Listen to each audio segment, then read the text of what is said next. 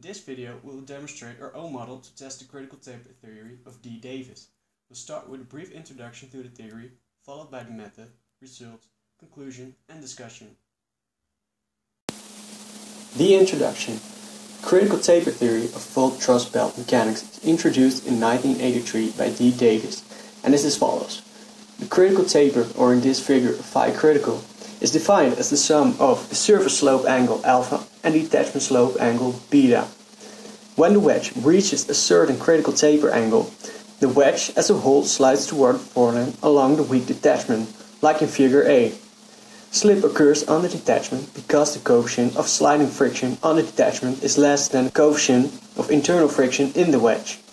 Stress acting on the wedge is partly a horizontal boundary load caused by the backstop and is partly caused by gravity.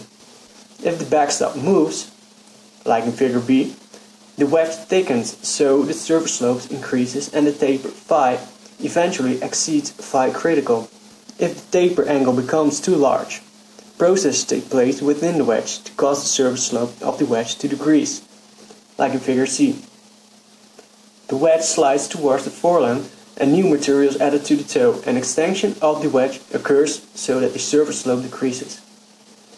In figure D, we can see if the surface slope becomes too small, thrusting at the toe stops and the wedge thickens by penetrative strain or out of sequence thrusting in figure E. Internal thickening increases the topographic slope angle until the wedge achieves the critical taper angle again.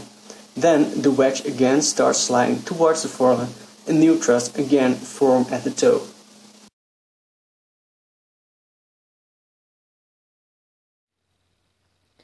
For our experiment, we made a simplified model to measure the critical taper. This is similar to the model of Davis and others. Our model consists of four segments.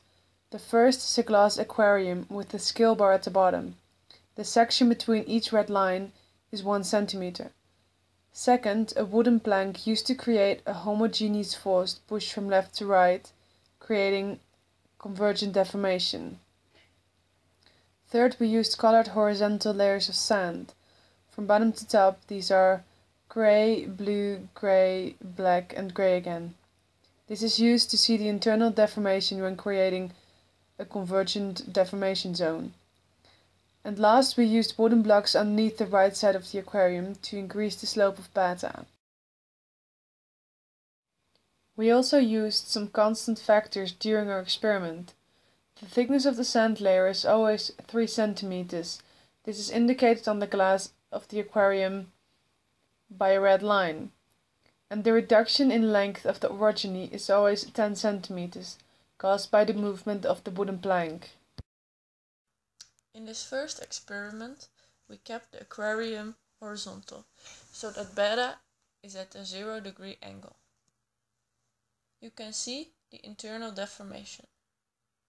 Two thrust and one back thrust form in this initial stage of deformation. We decided to not further investigate all the internal thrust angle relations, but focus on the critical taper.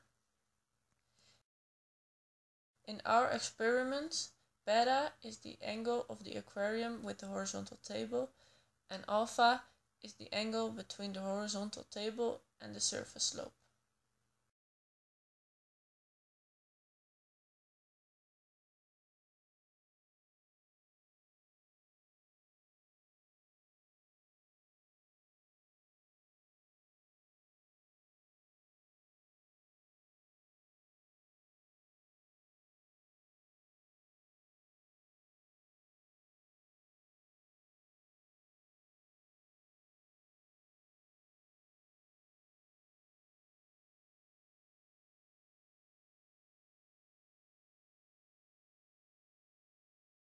This point we're at the 10 centimeters deformation and we measure the critical taper once more.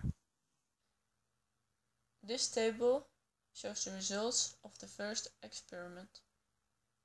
The results show an average of 25 degrees for alpha plus beta. Alpha plus beta is the critical taper. For the second experiment, we tilted the aquarium to a 5 degree angle.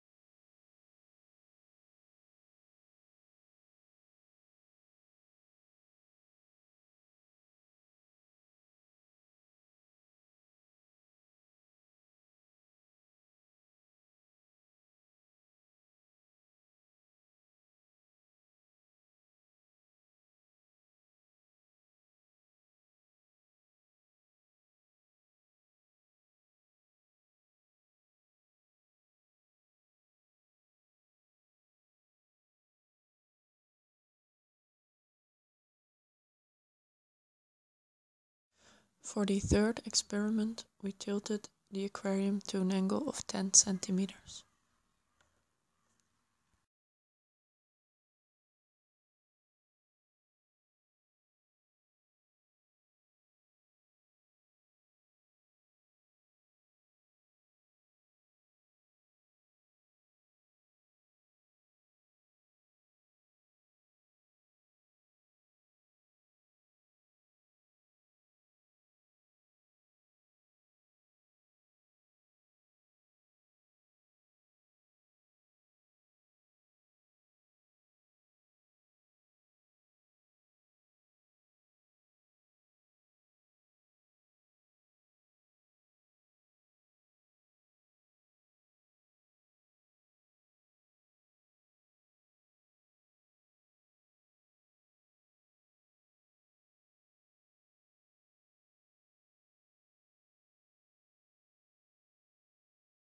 These are the results of the third experiment.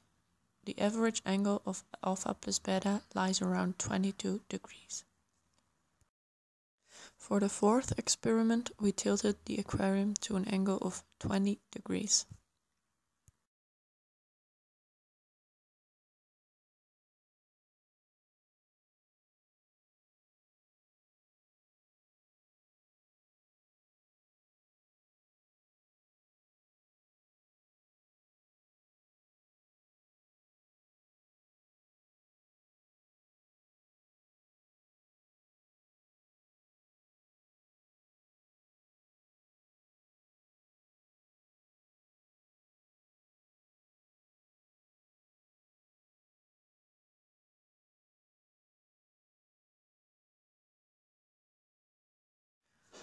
These are the results of the fourth experiment. You can see alpha has decreased a lot and alpha plus beta is slightly higher than with the previous experiments. For the fifth and final experiment, we tilted the aquarium to an extreme angle of 30 degrees.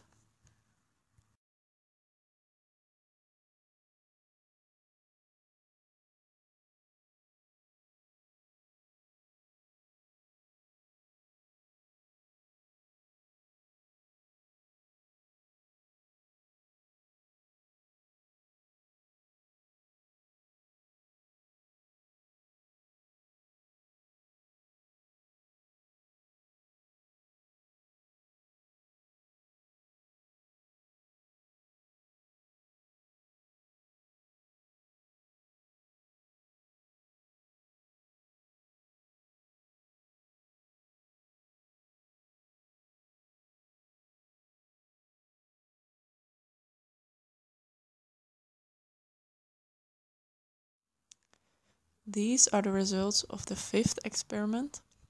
Alpha now becomes negative and alpha plus beta averages at 27 degrees.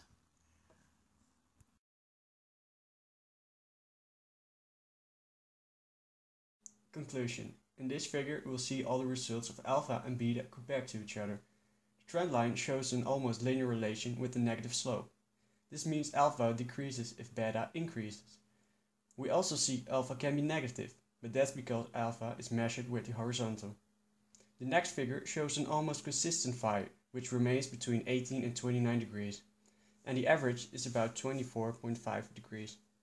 The reason why phi is higher compared to natural rocks is because there's a zeroed fluid pressure and the internal strength is much stronger than the sliding friction.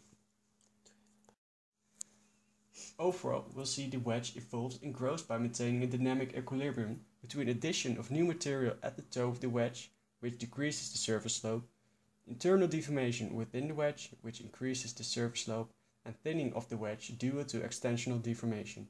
In reality, also erosion of the wedge plays an important role. The used setup is the result of experimenting in the lab. This setup might have some implications on the measurements we have not yet encountered. Alpha and beta are measured from pictures that do not all have the same frame. This might also have implications on the accuracy of the measurements. Our backstop was pushed by hand, which makes it also impossible to create a homogeneous force on the wedge. This might have a small influence on the angle of a small-scale experiment, but could be taken in account for further research. The moment of the critical taper is the moment of a new detachment forms. The new detachment leads to a decrease of the taper, which will build up again till it has its critical again. This means the moment of measuring the taper is of great influence.